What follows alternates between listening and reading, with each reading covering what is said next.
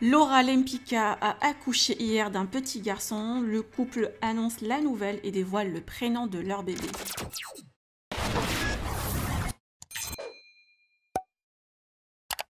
Laura Lempicka a donné naissance à un petit garçon hier.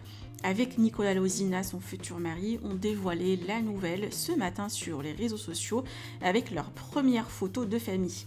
Le couple était absent des réseaux sociaux depuis deux jours. Laura n'avait rien publié et Nicolas a partagé une petite story pour rassurer les fans, mais n'avait pas dévoilé que sa femme était en plein travail. Les jeunes parents, en annonçant la nouvelle, ont partagé le prénom de leur fils qui est Zlatan.